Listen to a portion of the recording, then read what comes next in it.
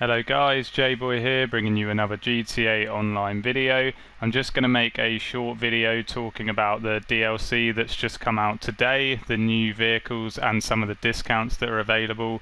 Sorry I haven't brung a video out in a couple of days. It's getting quite hard to bring out a video every day just because of other stuff going on. I will try and bring you a video every day, but if I can't, I'm going to aim for about three to four every week. So please stay tuned, and I appreciate the support so far, guys. I'm still going to do the subscriber giveaway when I hit 50 subscribers, so stay tuned for that one. Not too far off that now.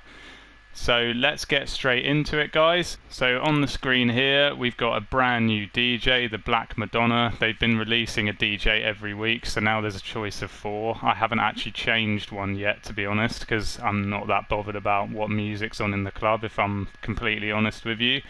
Um, let's go out of that. So if we bring up the internet, let's go straight into the most important Warstock. So there is this brand new Terrorbyte. This is a mobile operation center of sorts. There's quite a few cool color schemes you can do to this. You can customize the interior.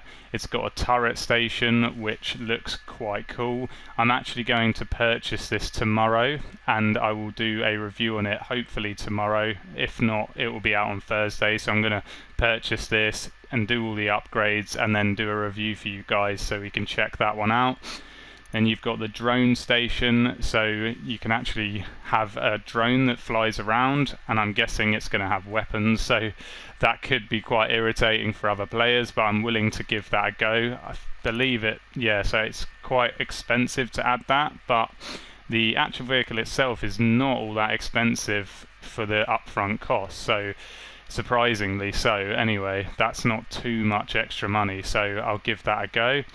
And then you've got the weapon workshop, which I've got one of those in the Avenger. I probably won't bother with that. And then specialized workshop. So this is quite interesting, guys. The new oppressor, the Mark II oppressor. This is the only vehicle that you can actually customize that in. So that's kind of not very good, to be honest. It's not great to know that if you want to purchase that vehicle, you're going to have to purchase one of these as well, and that's going to set you back about two million plus the cost of the oppressor. So that's I've never really expected them to make a vehicle just for one vehicle customization, but there you go, that's what's happened. So that's all we know about that one so far until I give that a review. And then you've obviously got the Oppressor Mark II, which is nearly 4 million, or the trade price, which you unlock the client jobs when purchasing the new Terrorbyte, and you have to complete five of those in order to, and own a Terrorbyte in order to get the trade price. But to be honest, I don't see why you would ever buy it now if you don't have a Terrorbyte because you can't customize it. So kind of goes hand in hand.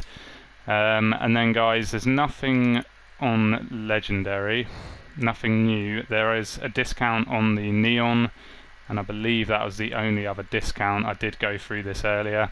And then on Maze Bank, if we go into there, there's no nightclub discounts, unfortunately. But you've got discounts on everything except for the facilities. So I did check. Let's just double check that for you. So hangars, yep, they're discounted. Bunkers, discounted, and clubhouses. Yeah, they're also discounted. So clubhouses, bunkers, and hangars are discounted at the moment. I think it's a 25% discount. Then if we go into Warstock again, there's a couple of vehicles with quite hefty uh, discounts as well. Yeah, so you've got the APC and the June. They're both discounted. And sorry, I did actually forget. On Legendary, you've got another vehicle down here. Yes, the Anis. That's also quite heavily discounted as well. That's about that's quite big actually. Yeah, seven hundred thousand off that one roughly. So that is basically everything so far. I will be bringing you a review of the Terrorbyte. I'm going to purchase that and give that a go. Um, not sure whether I'm going to purchase the oppressor yet, but it sounds quite cool because it unlocks you some missions and it will be quite fun trying out those missiles and the drone as well. That's all from me for today guys. I will be bringing out a video reviewing the Terrorbyte, so stay tuned for that and thank you again for all the support and I will see you again in the next video.